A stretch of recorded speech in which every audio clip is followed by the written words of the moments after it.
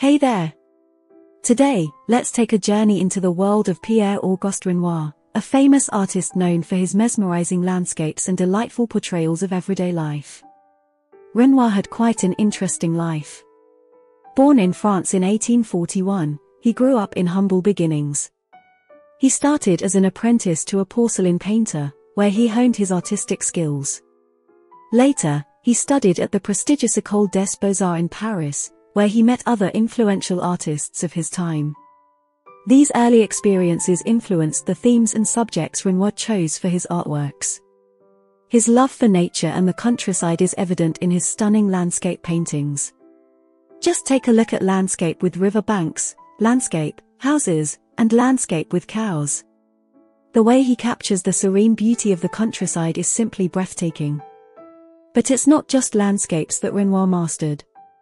His knack for capturing everyday scenes is also evident in works like Laundresses at Cagnes and Pigeon Coop. These paintings bring to life the ordinary moments of people's lives in a way that makes you feel like you're right there with them.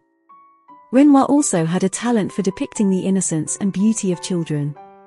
Just take a look at little girl in a yellow hat, it's so adorable, you can't help but smile. And his painting Laundresses shows us the hard work and dedication of these women, bringing a sense of realism to his art. No matter what subject Renoir chose, his use of color and brush strokes brought his paintings to life. With his unique style and ability to capture the world around him, Renoir left a lasting impact on the art world. So, whether it's landscapes, everyday scenes, or portraits, Renoir's works are a testament to his passion and talent. They continue to inspire and captivate audiences to this day.